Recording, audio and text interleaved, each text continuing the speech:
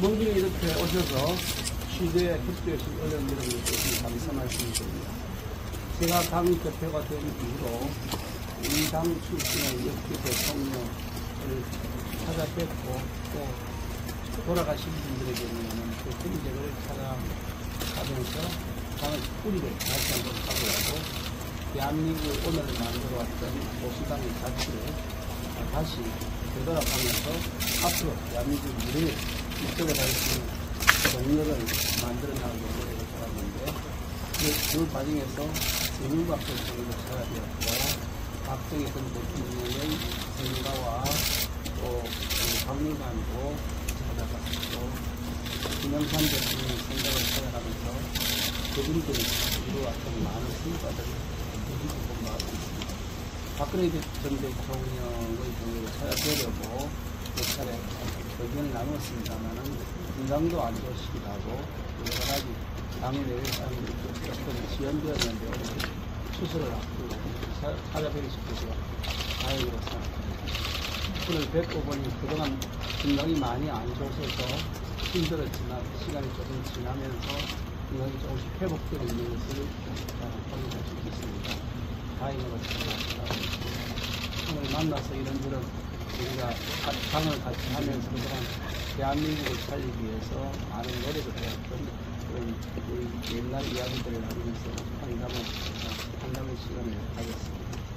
선박당이다, 분당이 거의 급전 직하로 다시 대선을 어려울 만큼 위기상황에 있을 때 선박당사를 결단을 통해서 당을 다시 되살렸던 그런 어, 과거의 역사를 한번 도전을 나누면서 그 역사를 되짚어가고 또그 후에 연전 연승선 선거 승리를 이끌었던 박근혜 전 대통령의 그 성과에 대해서 같이 의견을 나누면서 판단을 앞으로 그리고 그 박정희, 박정희 대통령께서 그동안 대한민국을 오늘의 그 번영된 나라를 만들기 위해서 많은 그 기여를 해오셨던 것에 대해서 다시 되짚어보면서 지도자 한 사람이 어떻게 나라를 있는 지도자가 얼마나 중요한 것인가를 얘기를 함께 나누었습니다. 대통령, 박정희 대통령께서는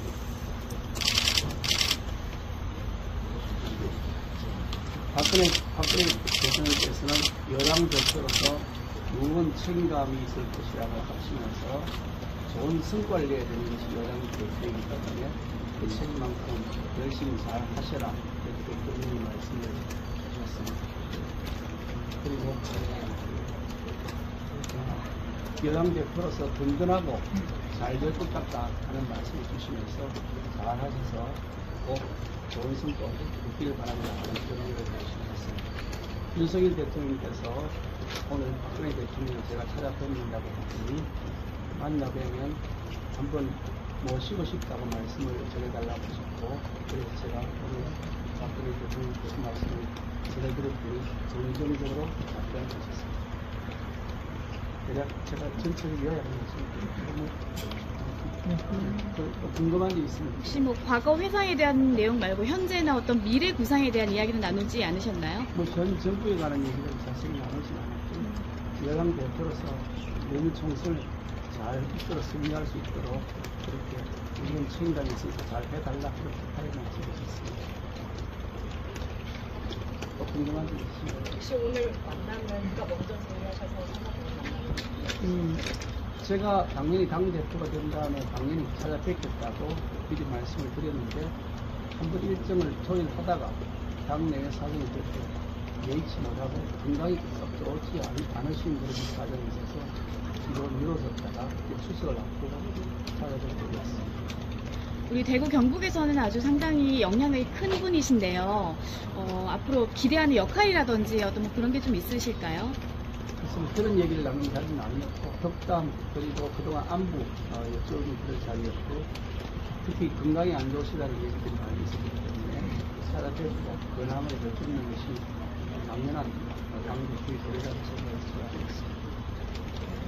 혹시 그 내년 총선과 관련해서 어, 박근혜 전 대통령님의 어떤 자문이라든지 의견들 구체적으로 좀 구할 계획은 있으십니까? 그런 얘기를 오늘 나눈 자리는 전혀 아니었고요. 앞으로 우리가 내년 총선에서 이기기 위해서 보수가 대단합을 해야 된다. 대단합을 해야 된다는 점에서 우리가 대동 단계를 할수 있고 힘을 모아야 되는 것인 만큼 박근혜 정부 총장이 가지고 있는 많은 그런 과거의 경험이나 또 가지고 있는 영향력 이런 것들을 함께 대동 단계를 할 수 있도록 모아야 되지 않겠나 하는 게 저희 생각입니다. 여기까지 할까요? 그 대동 단계라고 하시면 지금 지역 TK 중에 이제 내년 총선 출마자 중에 이제 친박 계열로 이제 부르던 분들이 그런 계시는데 답변 말씀드리진 않겠습니다. 예, 그런 답변할 자리에. 예, 혹시 대통령 건강은 예, 건강은 좀 건강 꽤 많이 좋아하셨어요. 그동안 그 저기 그 힘드셔가지고 그 뭐, 선거 계속 선거 운동을 진두지휘하면서 때로는 이 차를 타고 가는 안에서 김밥 먹고 그렇게 하면서 여러 해 동안 지켜내 오셨는데 그러다 보니까 흔들리지 않는 집에서 밥을 먹으니까 소화가 안 되고 어지럽더라 할 정도로 워낙 그 오랫동안 그렇게 하시는 활동, 선거의 활동을 아주 결정적으로 하셨다는 그리고 또 여러 가지 영혼이 모으기 위해서 고생을 많이 했으니까 그만큼 건강이 많이 안 좋으셨던 것 같거든요. 한번 또 허리도 좀 안 좋으셨다 하는데 계속 재활치료 수술하시면서 많이 좋아져서 이제는 그때보다는 훨씬 많이 좋다 이렇게 말씀하셨습니다. 하나만 더 여쭤볼게요. 오늘 예방하신 게 보수 통합 홍보의 일환으로 볼 수도 있을까요? 오늘 이렇게 박근혜 대통령 예방하신 게 보수 통합, 내년 총선 앞두고 보수 통합하시는 홍보의 일환으로 볼 수 있을까요? 제가 조금 전에 그뭐 우리 보수가 대, 대동단계에 된다는 말씀 드리면서 바람하더라고요. 아까 좀 전에 좀 말씀 주셨으니까 생각이 나는데 지난번 윤석열 대통령께서 당선인 시절에 그 방문하신 분이 있었습니다. 그때 한 55분 정도 앉아서 말씀을 나누셨다 하는데 그때 건강이 별로 안 좋으셔서 앉아있기가 많이 힘드셨는데도 불구하고 이야기가 막 길어지면서 55분 동안 말씀을 나누셨는데 그러고 나서 허리가 아파가지고 한동안 굉장히 애- 애를 먹으셨답니다. 그만큼 건강이 한동안 안 좋으셨던 것 같아요. 지금은 그때보다 훨씬 좋아하셨 다고 네, 감사합니다. 생각합니다.